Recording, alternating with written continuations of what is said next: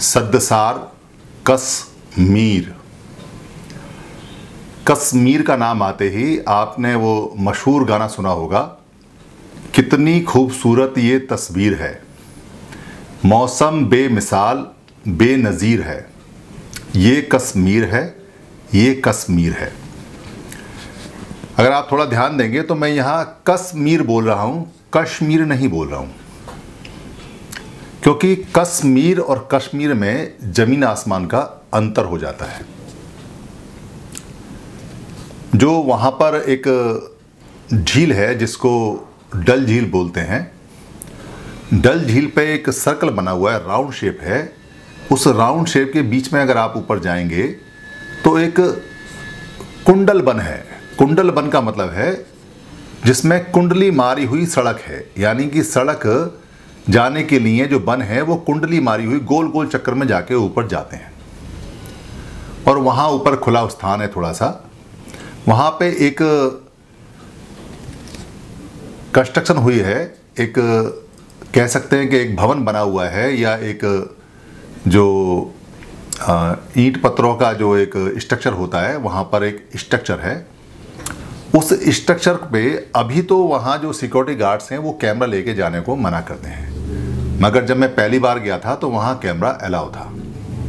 वहाँ की जो सीढ़ियाँ और जो वहाँ की कलाकृति बनी हुई है जो वहाँ का आर्किटेक्चर है, उसमें कमल के फूलों का जो पद्धति होती है, बुद्ध साहित्य की या बौद्ध की, वो वहाँ मिलती है। और इससे ये प्रूव हो जाता है कि यहाँ पर जो संगति हुई थी, जिसको चौथी संगति बोलते हैं संगति का मतलब है कि सारे भिक्खु मिलके और भिक्कुणी मिलके एक राजा, जो कुषाण राजा कनिष्क थे, कुषाण के राजा कनिष्क थे, उन्होंने वहाँ पर लगभग ईसा के मरने के 120 से लेके 144 साल के बीच में वहाँ पर संगति कराई थी और सारे बौद्ध भिक्खु वहाँ आए थे। जो गंधार का एरिया है, जिसको गंधब्ब बोलते हैं उसकी रा, राजधानी तक्षशिला हुआ करती थी जो आज की डेट में जिसको कंधार बोलते हैं। और जो गंधारी जितनी भी आर्किटेक्चर है वो आपने बहुत सारी स्टैचू देखी होंगी जो पाकिस्तान में मिलती हैं। अगर आप नेट खोलेंगे तो गंधारी स्टैचुओं से भरा पड़ा है पाकिस्तान का पूरा पूरा एरिया और ईरान तक होती थी। तो कश्मीर को कश्मीर नहीं बोलते थे पहले क्योंकि शय तो पाली में है ही नहीं। तो कस का मतलब क्या है यहाँ? कस का मतलब है कसना। जैसे आज आप कहते हैं कि कद्दू कस दो, या कद्दू कस देना हमें, या इसको अच्छी तरह से कस दो। किसी को बांधना होता है तो कहते हैं इसको अच्छी तरह से कस दो, या इसको कसो, या तुमने ये कसा या नहीं कसा। इस कस के अगर हम खेत को कसते हैं, यानी कि जो खेत है, हमारा ज़मीन है तो उसको कसना बोलते हैं तो उसको आज की डेट में जोतना भी बोलते हैं। यानी ज़मीन को अगर कसेंगे तो उसको प्लो या जोतना बोलते हैं, वो भी कसना यही है।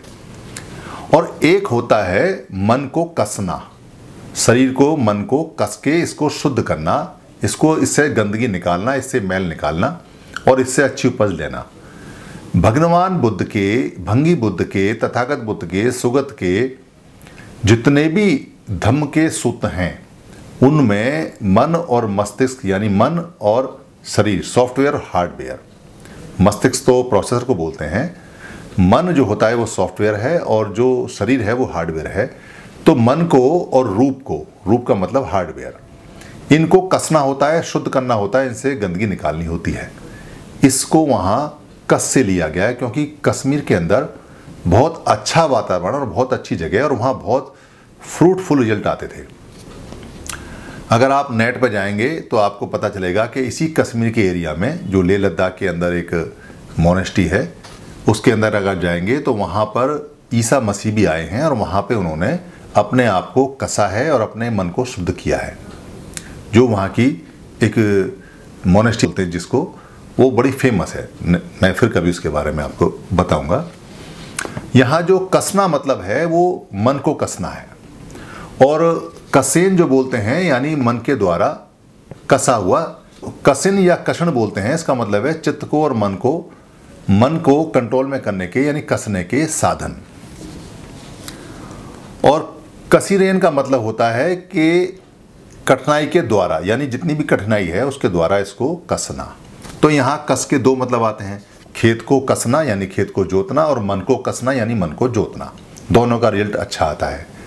और मीर जो शब्द है, मीर शब्द अरब से आया हुआ शब्द है। क्योंकि मीर माने होता है मुख्य, नेता, नायक, किसी वर्ग का मुखिया।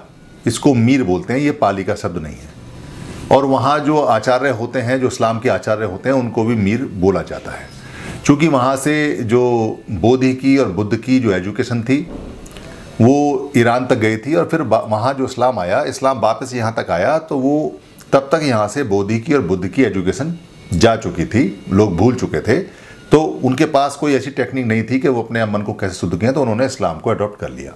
तो कस और मीर दोनों शब्द बड़े कमाल के हैं। एक पाली का है और एक अरबी का शब्द है। और कश्मीर के जो पीछे के एरिया हैं, वहाँ तक जो इस्लाम था वो नहीं पहुँचा। इसलिए जब आप पीछे की तरफ़ लेह में जाएँगे तो लेह में सारे के सारे आज भी वही बोधि परंपरा के लोग हैं, क्योंकि वहाँ मौसम ज़्यादा हार्ड रहता था। वहाँ इस्लाम नहीं पहुँच पाया, वहाँ और भी लोग नहीं पहुँच पाए, इसलिए वो शुद्ध रूप में, अपने बोधि रूप में वहाँ बना हुआ है। तो कश्मीर का ये बहुत सुंदर सा दो शब्दों से मिलके बना हुआ एक शब्द है, और जब कभी आप कश्मीर जाएँ तो वहाँ जो कुंडल बन के अंदर, जो ऊपर की तरफ़ एक बिहार बना हुआ है, उस बिहार को ज़रूर देखें। उस बिहार में आज भी कमल की खुदाई हो रही है, जो पत्थरों पे कमल की खुदाई है, उससे साफ़ पता चलता है। हालाँकि उसको तोड़ फोड़ दिया है, ख़त्म दिया है। एक एक अगर विचार आता है, उसके ऊपर जब दूसरा विचार आता है तो पहले विचार को, कुछ लोग ऐसे होते हैं जिनको लगता है कि पत्थर या मंजिलें या दीवारें या इमारतें तोड़ के विचार को तोड़ा जा जा सकता है। जबकि सारे विचार शुद्ध मन को होने के हैं। अगर आप एक शुद्ध लोग हैं, अगर आप कोई विचार आपका शुद्ध है, कोई टेक्निक आपकी शुद्ध है तो आप कभी भी किसी का कोई टेंपल ना तोड़ेंगे, ना बनाएँगे। ये सब प्राकृतिक अपने आप चलता है। धन्यवाद।